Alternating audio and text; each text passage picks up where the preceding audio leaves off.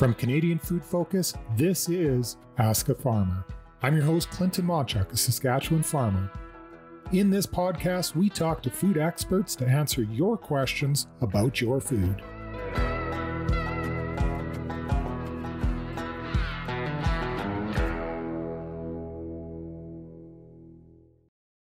Welcome, everybody, to the podcast today. We have Tiffany Martinka, who is a chicken farmer uh, from the northeastern part of Saskatchewan. Now, we like to learn a little bit more about how your food is being grown here in this great country. And sometimes we don't really know when it comes to the grocery store when we're buying that uh, chicken breast, chicken thighs, or chicken wings, which we'll talk about later on, um, how necessarily that's actually grown. And, and uh, we have the privilege today of listening to a chicken farmer and uh, understanding a little bit more about how that chicken is raised. So, Tiffany, do you want to give us a little bit of an overview of kind of who you are and uh, maybe some history of your family farm and just what you farm in general? Myself and my husband, and as well as family, we all grain farm and also run a broiler chicken operation here in the northeast of Saskatchewan. Um, I knew I wanted to take uh, agriculture um, as a secondary education because we need everybody needs a- agriculture every day. We all eat every day and i knew that i knew that we needed it all over the world as well. So it was something that i really wanted to be part of and when i met my husband in university we talked about the goals and the opportunities and and what we wanted uh, for a future and we saw that future right here on the family farm so we actually rolled into his father's third of the farm when his father was ready to retire. There was another uncle he was farming with, and he retired. So that has actually left us farming with another aunt and uncle. So that is our current situation on our family farm. Um, we're we're very um, lucky in the sense that we get to farm alongside family. We we don't actually have any outside employees at this point in time, anyways.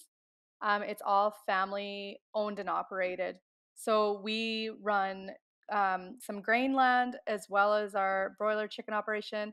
And I can't forget to mention, I also have a small flock of sheep.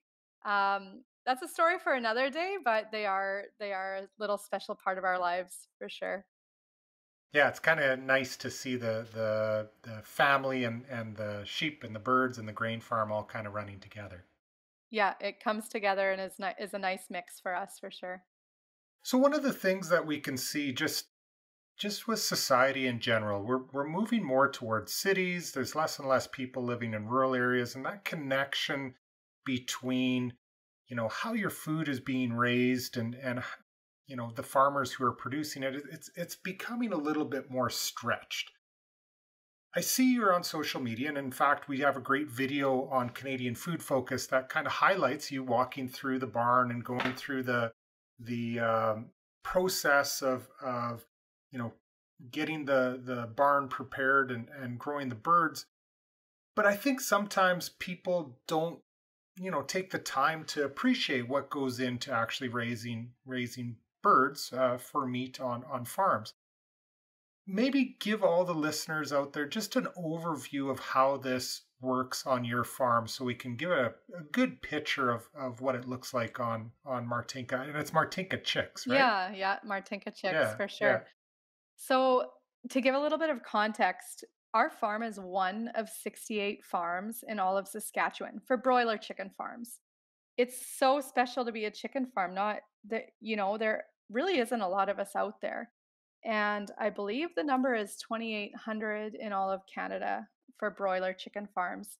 Um, so because of this, we we take what we do really seriously. Um, I I grew up on a grain and cattle farm, and when I married into this operation, I was so fascinated by how the broiler chicken farm operated and how efficient it was and it just it still amazes me to this day how how we can uh, bring everything full production to the restaurants, the grocery stores, to the kitchen table. during the video that you took, and, and like I mentioned before, it's on CanadianFoodFocus.org or, or the YouTube channel as well. Um, but you mentioned the biosecurity and you do the farm tour with the video because we can't really go into the barn. Do, do you want to just explain a little bit why that biosecurity exists and and why somebody like me can't just willy-nilly go into your barn? Yeah, we we would love to have people come in and tour our barns firsthand to you know smell the chickens feel the straw smell the manure yeah hear hear them chirping i would love for that yeah. to happen firsthand but uh, because of our biosecurity we cannot do that especially at this point in time so biosecurity means that um, we are trying to keep our chickens safe from any sort of disease or infections or whatnot that may enter the barn. Um, just keep them healthy and, and thriving, essentially. Um, so, in order to put some of our biosecurity protocols in place, we can't wear our street clothes, our street shoes into the barns. So as soon as we're walking into the barns, there's there's like a even a yellow line drawn on our floor It's part of the auditing process. Nothing crosses over that line. Once you cross that line, we have barn clothes, barn shoes that are changed into, and that is what we wear in and amongst the chickens so we, we don't track any sort of uh, illness into the barn. And one of the most popular um, uh, illnesses right now that you might hear about is avian influenza. Uh, I know people probably hear it all over the radio right now in the media and it it really truly is a, a huge risk to um, chicken farmers and and our chicken industry and essentially our our food supply in Canada here. Uh, so we take that very seriously and and you know because of that we we do not allow tours on our farm. So the next best thing is to do those virtual tours. Do the video. Yeah. Yeah. Yeah. Which was great. So you've mentioned broiler chickens and and obviously there's different types of chickens out there. Do you want to explain, you know, what the difference is between broilers and layers? Okay, so I like this question a lot because I like to compare it back to cattle. There are dairy cattle uh, are for milk and milk products. Beef cattle are for um, producing meat and that's like what broiler chicks are they're they're for producing meat um, there are specific breeds that are for laying laying eggs are table eggs and broiler chicks our breed of chickens is specifically grown or they're specifically bred and their genetics are there to grow the best meat possible and to grow efficiently as possible as well and a fun fact of our farm there is never a single egg laid in our farm. Uh, we raise our broiler chicks for 34 days, and we are asked to raise them to 2.32 kg within those days. We have two barns. They are 60 feet wide by 470 feet long, and there's two of them that size. And the barns are filled with straw, the feed bins are full of feed, and the chicks arrive. They are all less than 24 hours old and we are placing uh, just shy of 90,000 chicks in our in our barns. Uh, so roughly 45,000 in each barn. And that number can change a little bit depending on what we are asked to the weight we're asked to raise our chickens to. And that's because if we're growing a bigger bird, we place less chicks. If we're raising a smaller bird, we can place more chicks and that's because there's regulations in place for how densely our barns can be populated. Just for, again, for some context, um, so what do you do when you said the birds were going to be coming and placed?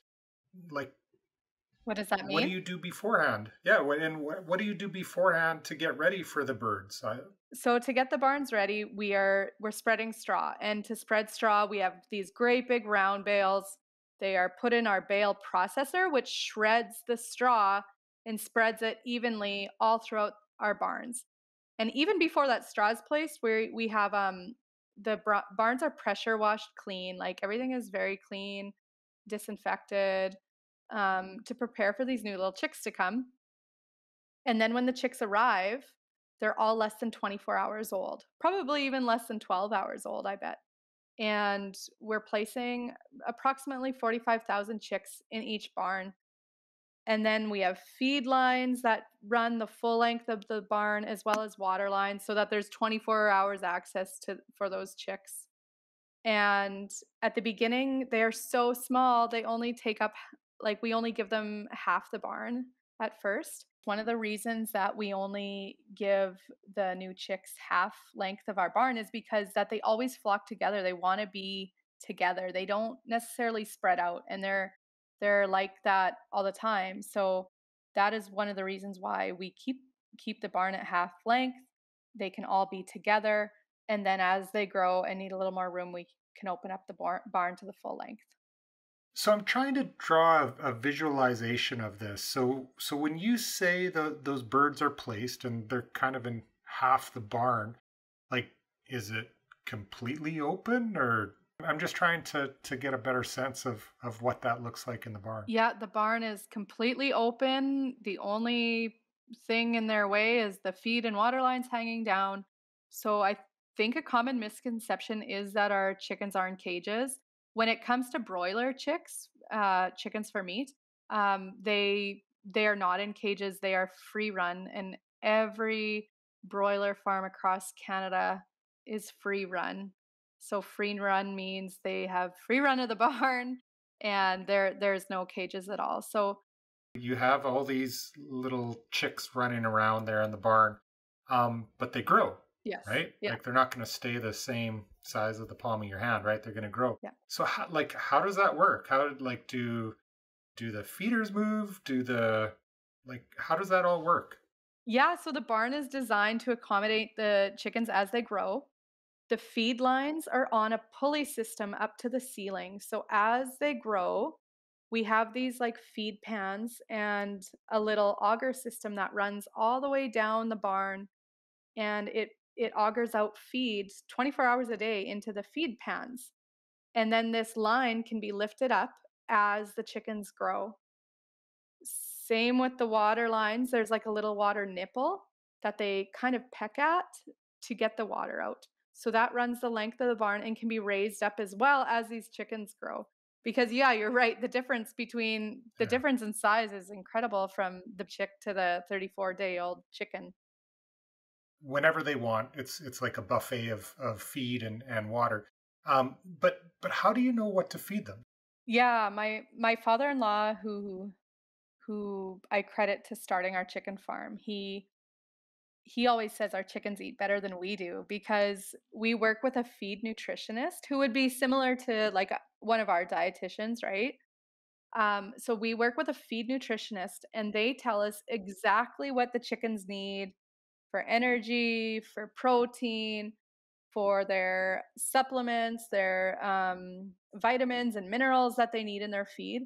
And they're getting exactly what they need. And to give you an example of how important these um, feed nutritionists can be, we were working with one company a few years ago and we switched over to a new company. And just the small little changes that they made in the feeds, uh, we were able to shave an entire day off our production cycle. So we went from 35 days to 34 days. And that was just due to the sm- few small changes that they made. So it, it, it does make such a big difference with um, with knowing exactly what you're feeding them. Awesome. So so and you said they grow roughly about 34 days. Uh, so then where do they go from there? So So 34 days, they are ready to go to be processed and made into our favorite chicken products, chicken wings, Kentucky Fried Chicken, um, whatever that may be. Um, so different farms are contracted with different uh, processing companies. For us on our farm, we're contracted with Lilydale, um, which is out of Wynyard. So our chickens go to Wynyard. um, other farms may be contracted with Prairie Pride and they go to Saskatoon. Um, it just all depends on the farm. Um, so they're picked up by a crew called chicken pickers. So we have a crew come in and they actually come in at nighttime, which is really interesting because that's when the chickens sit really still at night and the barns are kept really dark. Um, like they they work with flashlights to pick the chickens because the chickens aren't running around then. We don't want them Mhm. to run around and injure themselves or just be stressed. So they sit really nice and quiet and the chicken pickers come in at night and they are all handled with care and loaded into a semi truck and the unit that they're loaded into, kind of imagine it kind of like a dresser, like a crate. They're all crates with holes so that there's a lot of airflow. But it's almost like a dresser with drawers, and the chickens are kind of put in drawers, and then it's loaded up into the semi truck, and they are taken off to Wynyard to be processed. So that's the the overview, and I assume there's lots of like how does technology kind of play into that? And and I think in your video you kind of highlight some of the um, you know the sensor technology and the computers, but you want to just touch on a little bit about that of how things are controlled within the barn? Yeah, so when you have animals, you're you're essentially on 24/7 call because it's our job to make sure that they are thriving and well taken care of and that there's no issues. So all of the feed sensors, water lines are all connected to to a computer system. And if, for example, um, maybe a feed bin runs empty or the auger system isn't working properly, it all is connected to that computer system and goes to a phone app with all the information right on there. So it is my husband who has the app on his phone. So sometimes at three in the morning, he can get a phone call saying, There's an issue in the barn. You need to come out and check and see what's going on. So sometimes he needs to go out there and, and do that. Or maybe we can, we're in the city running errands in, in town and he can always keep an eye on things that way. And maybe it's getting too hot in the summer or um, in the wintertime, there can be things that freeze up, and all those systems alert us to all of that. And then there's um, the other side of the technology as well, where it helps us know what's going into our chickens too. So the systems are weighing and measuring everything they're eating, everything they're drinking, there's this little weigh scale inside that every time a chicken hops on and off, um, it it weighs them and it tracks that too. So that's really neat to see um, how they're gaining their weight and growing every day.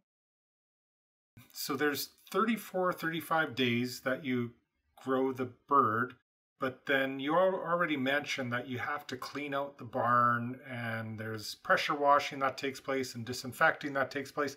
So how does that actually work? Like, do, do you put the birds back in right away or, or what do you got to do? Uh, how does that work? To give you an overview, they're eight week cycles. So chickens are in the barn for roughly um, six of those week or less less than six weeks, I guess, five weeks. and it Yeah. can vary. It can vary farm to farm, right? Everybody Right. goes, Yeah. a, you know, a few days different. So roughly five to six weeks, they're in the barn, and then two weeks the barns are empty. That's when they're all clean, disinfected, and getting ready for the next flock. And then we do that about six or seven times a year. So Right. eight Okay. week cycles, six to seven times. And just out of curiosity, like when when you do that every eight weeks, then that has the ability to adjust your production too, right? So every every eight week cycle, it's not necessarily the same amount of birds, is it? Yeah, because ultimately, like what we're growing is what the consumer has asked for. So because it's every eight weeks, we can adjust like uh, based on seasons. So barbecue season might be different than Christmas with what consumers are asking for. And the weights of our chicken can be adjusted to what the consumer is asking for at the grocery store. So we really have that ability to quickly adjust. And, you know, a great example was when we all lived through COVID and grow, you know, restaurants were shutting down. Nobody was going for wings at the bar anymore. Um, we were able to quickly adjust in, within our industry to what the consumer was actually taking home with them.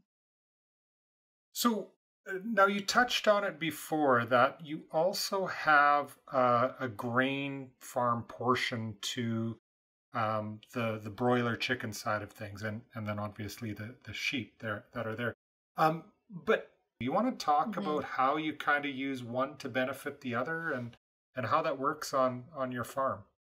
I love how our farm goes full, full circle, and I love telling this story. So we have approximately 2,000 acres of grain land, and the cereals that we grow there, um, barley in particular, hulless barley is what we feed to our chickens.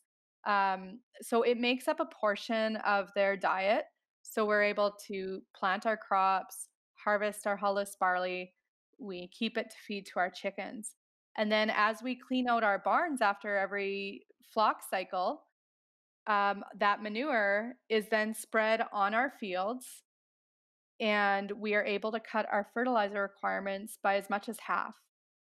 Wow. And and you know the other thing to note too is uh, when that grain is harvested, it leaves the straw behind. That straw is baled up, and that is what we use in our barns oh. for bedding as well. So I it really works well going both ways. Um, it's it's really nice to be able to take everything full circle on our farm. That is interesting, and and I just think of you know the in the last however many years the price of uh, fertilizer has gone up quite a bit. So it's interesting that you know you're you have the ability to save some of that, and and you're really just integrating all these different steps of the farm to be more sustainable. I guess you know, our neighbor farmers are always asking us, "Hey, can we get our hands on some of that chicken manure?" But we're like, "No, sorry, it's taken." Um, but one of the recent projects that we um, have integrated is we we've just um, we've just put together a solar panel system on our farm here. So we are hoping to um, generate enough uh, solar energy to power our barns and our our farm. Wow, wow, that's amazing. And I, and I would assume like there's a lot of moving parts, right? You have the the feeders and everything, and the computer systems. So that would power the entire both of the barns with the solar energy. Yes, yeah. Well, that is our ho- that is our hopes. There's a few little roadblocks we're trying to overcome at the moment. As always, it seems to be on the farm. And nothing yeah. nothing comes super easy. There's always something that comes up. So that is our hope and that is our goal. Awesome. That's great to hear. So this kind of gets us to the fun farm fact for the podcast. And uh, today's fun farm fact is Did you know that the highest consumption of chicken wings is actually during Super Bowl Sunday? And in fact, last year during the Super Bowl, which was the Kansas City Chiefs and the Philadelphia Eagles, Canadians consumed 76 million chicken wings for the game. This was from the Chicken Farmers of Canada. And I was trying to do some math in my head on this on, on 76 million chicken wings. So, roughly speaking, that's two chicken wings per person here in this country on Super Bowl Sunday. And I know for a fact, because we're a big football family in, in my family, um, but my family definitely did their fair take of consumption of chicken wings on, on that day and, and possibly other other beverages as well. So. What's what's your favorite flavor of chicken wings? Ooh, that's a good one. I I always get uh, buffalo chicken wings. Always. I like a little spice. How about you? Okay, I have to bring this up because I think it's unique to my little small town. Have you ever heard of Granch? Granch. Granch. Yeah. I've heard of the Grinch, but not Granch. Okay, these are my favorite kind of chicken wings. And Granch is Greek ranch. Greek, Greek and ranch. Ranch. Wings. Chicken wings. They're so good. There's wow. also a version called Gruffalo, which is um, Gruffalo. What one was that? Uh, Greek and Buffalo, I think something Greek like that. Greek and buffalo, Gruffalo. I love that. That's funny.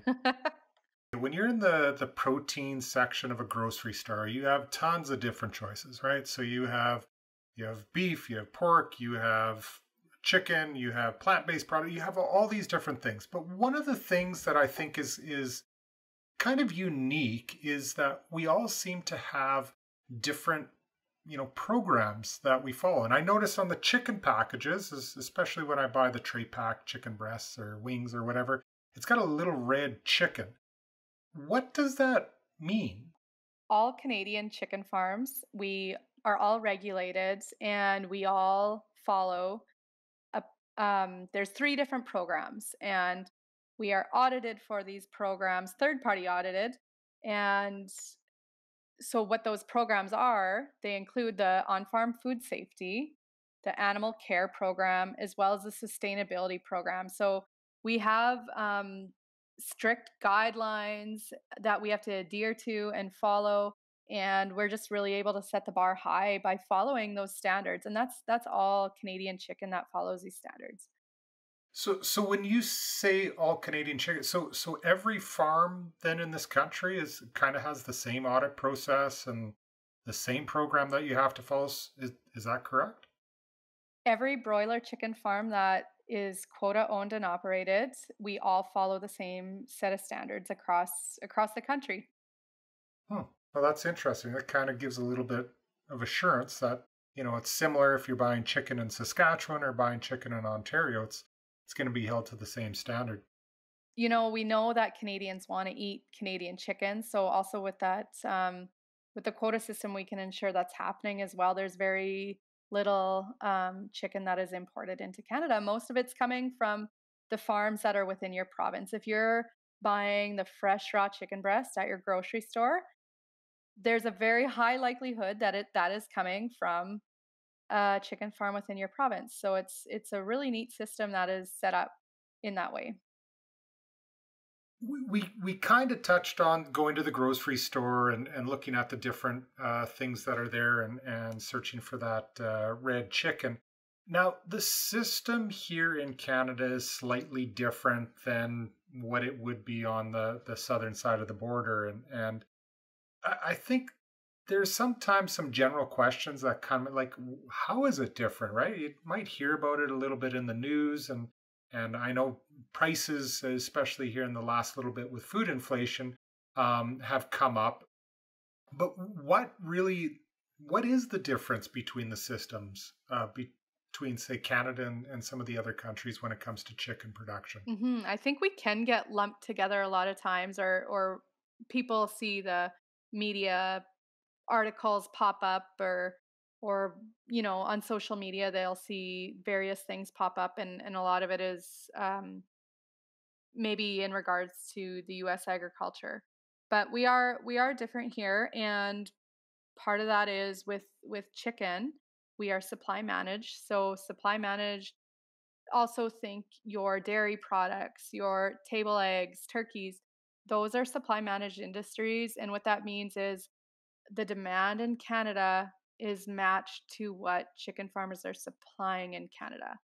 And there's just there's rules and regulations placed around what's imported into Canada and and exported as well, um, so that we can be guaranteeing that the majority of chicken that Canadian consumers are buying is coming from Canadian farmers one really neat thing about our industry is that it's designed so that the fresh raw chicken breast you're buying in your grocery store should be coming from chicken farms that are within your pro- province that are closest to you. So we are able to provide you with the freshest chicken possible because of the way it, it, it is designed. So that's a really neat piece um, i think that is special and unique to canada. And because of that we're we're able to ensure that i th- you know what? I personally think that we grow the best chicken in the world here in canada. You do. I've tasted it before. It's pretty darn good. Well that's awesome. Well we uh, thank you very much for being a part of the podcast tiffany and and uh, as mentioned uh, anybody who's listening can watch more of tiffany's video on our services on YouTube or just go to our website and do a search. So thank you very much for being a part or part of the podcast and uh, we wish you all the best. I want to thank you for taking the time to listen to our Ask a Farmer podcast. We at Canadian Food Focus value the input from our listeners and ask that you share this podcast with your friends and family. Remember, this is a two way street, so we seek your input for future segments that are of interest to you about food and farming. To do this, please click on the Ask Us icon at the top of our website, CanadianFoodFocus.org. While you're there, feel free to follow our numerous social media links and sign up for our newsletter. This segment was produced and edited by Angela Larson, research and writing by Dorothy Long and Penny Eaton, music by Andy Elson. I'm your host, Clinton Monchuk, and from all of us here at Canadian Food Focus, we wish you good health and great eats.